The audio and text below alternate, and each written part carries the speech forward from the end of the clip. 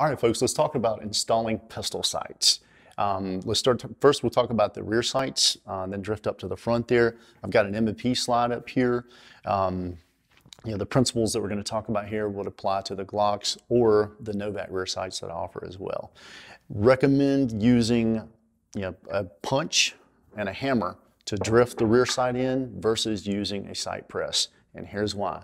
Most sight presses apply pressure to the wrong part of the sight. Um, most of your sight presses will end up applying pressure back here somewhere um, where we need to apply pressure and the only place we need to apply pressure as we're installing the sights is on the dovetail.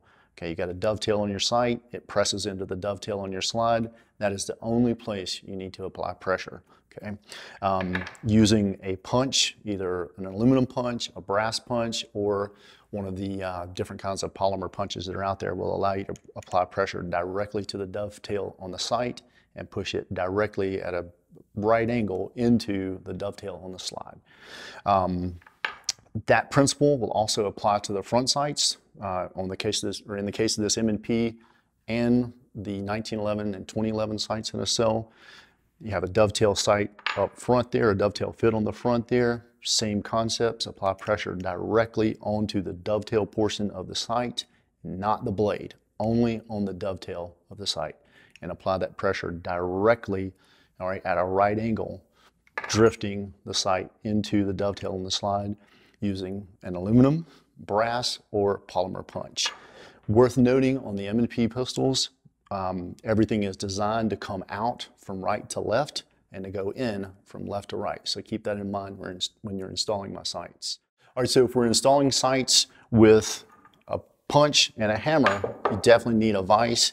I would recommend a sturdy vise and some padded vise jaws to keep from marring up your slide. Um, when you install the rear sight screw on any of the sights, I would recommend blue Loctite to hold that dude in there to keep it from vibrating loose.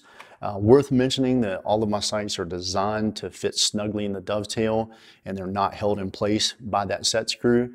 Um, set screw is just like some little extra insurance, but blue Loctite on there will keep that thing from coming out.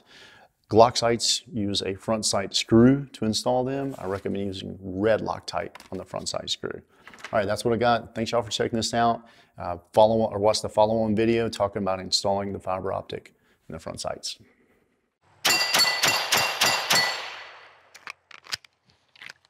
Hey, what's up, y'all? I hope you were digging the video that you were just watching there, and if you'd like that and you'd like to know more, I recommend you go to my website, frankproctorshooting.com, and subscribe to FPTV. There, you're gonna find hours of detailed information on training and gear to help you shoot fast, accurate, and easy. While you're on the website, check out my training schedule, come out and train with me. Um, also take a look at the products I offer, see if they'll help you shoot. Speaking of shooting, time for me to get back to training.